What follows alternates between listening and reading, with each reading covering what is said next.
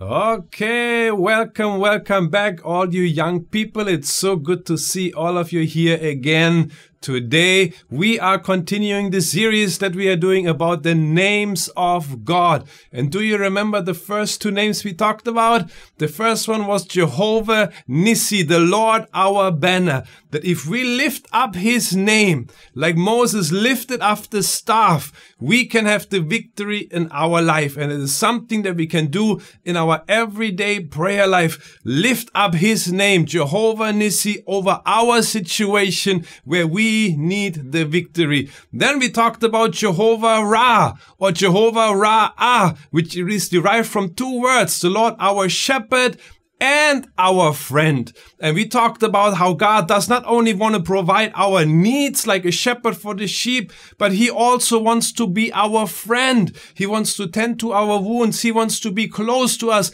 He wants to be involved in our life. So today we're going to continue with Jehovah Rapha. Do you know what Jehovah Rapha means? It's a famous one, isn't it? Jehovah Rapha means the Lord our healer or God who heals. And that is found in Exodus chapter 15. Now remember we said context is so important. So if you go back into the scripture, you see that uh, uh, Moses led out the people of Israel from Egypt out of slavery. They came to the Red Sea. The, the Red Sea parted. Uh, Pharaoh came after them with the army. All this miracle happened, right? Now they were in the desert on the way to the promised land. And then there came a stretch of where they were walking around in the desert and they had no water. So they started to complain and then finally they found a source of water, but it was sour. They could not drink it. It would make them sick. So God showed Moses, okay, take a piece of wood, throw it into the water, and then the water will be okay. And that's what happened.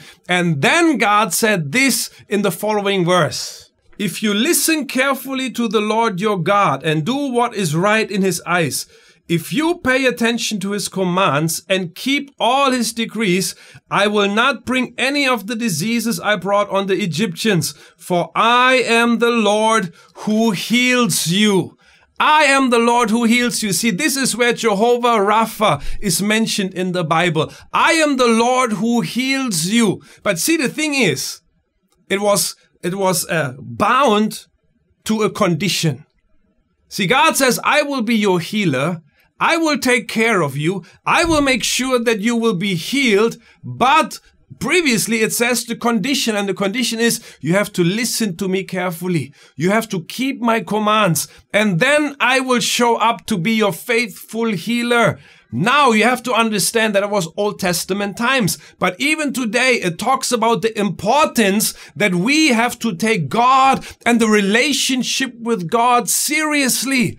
Not just to treat it as, oh, I do it uh, just at the weekends. I go to church because my parents want me to go to church. Or uh, maybe sometimes I pray because that is just what you're supposed to do as a Christian. No, God wants to have a real relationship and He wants to be our healer. Absolutely. But He wants to be involved in our life, not only when we need a healing. So if we have a headache and we want to come to God and say, God, please take away my headache. But God wants to be involved in every part of of your life when things go well, when things don't go so well, and even when things look very, very dire, God wants to be involved in every part of your life. And He wants to show up as a friend, as the shepherd, like we talked about, but in this instant also as a healer. So before we right away take the Panadol, pop the pen- Panadol, maybe just take some time and pray and see if God takes away the headache or not. You know, God can be experienced. Come on.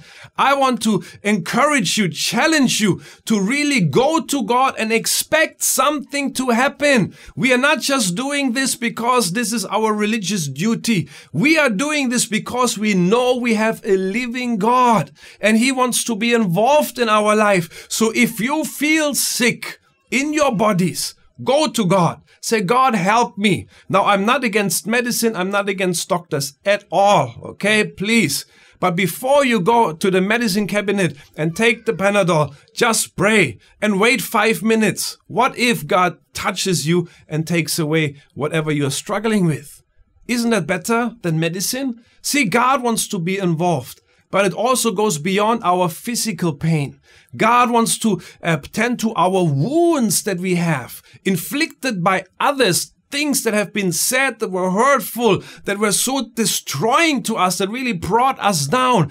God wants to tend to that one as well. And He wants to heal the wounds that we might have because He is God who heals. He is Jehovah Rapha, our healer. So I want to challenge you this week, whenever you go through, if it's an emotional pain or if it's like a physical pain, take a minute and pray about it and expect God to show up.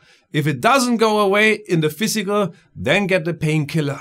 In the in the spiritual one, just expect God to really come and do something because I know God wants to show up more than you even want him to show up. I know that is a big statement, but I believe it with all my heart that it is true.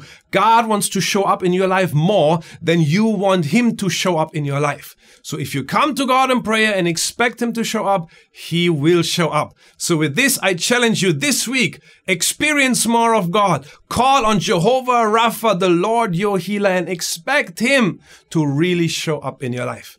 Okay, guys, I see you for the discussion and the prayer time later on. Until then, love you guys. Bye bye.